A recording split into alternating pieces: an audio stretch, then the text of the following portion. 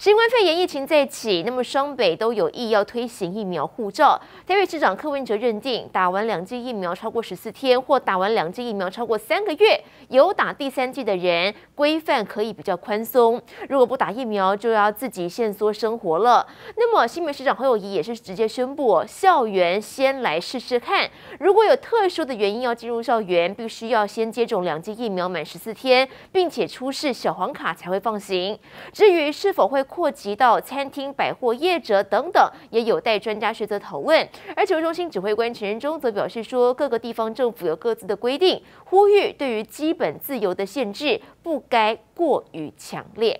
继续来看到的是淘机的衍生社区的问题，疫情在扩大，中立联邦银行群聚之后，现在银行员尾牙到西提聚餐，也是导致多人染疫。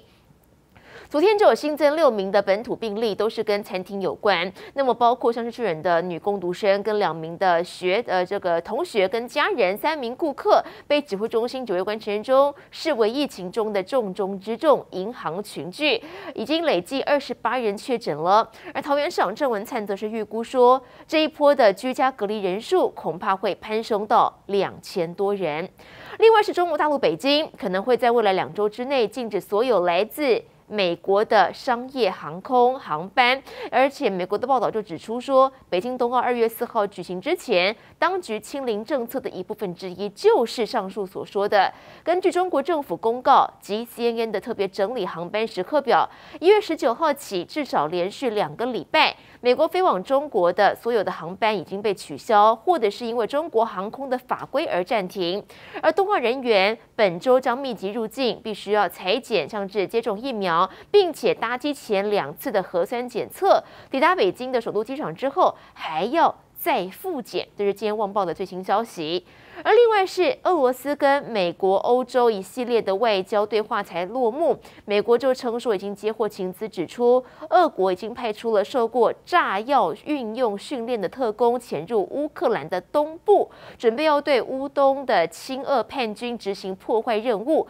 然后嫁祸在。呃呃，这个乌克兰当局被视为这个像是这个俄罗斯大举入侵的制造借口。而此外呢，白宫的国安顾问苏利文就指出说，俄国在二零一四年并吞克里米亚半岛的时候就已经用过了相同的伎俩。另外是绿能跳票。为了达到非核家园，民进党政府有打出二零二五的能源配比五三二的口号，以燃气为主力，占全国发电量的五成，而燃煤是三成，另外再生能源是两成。之后，行政院副院长沈荣金在经济部长任职的时候，他就再修整了当年的燃煤可涨到二十七趴，燃气百分之五十，绿能百分之二十维持不变，其他能源是百分之三。但是政策跳票，让人很担心。除了供电的这个问题之外更糟糕的还有根据经济部的报告指出当年绿能还有燃气缺口少掉百分之六全部都由这个燃煤发电来补上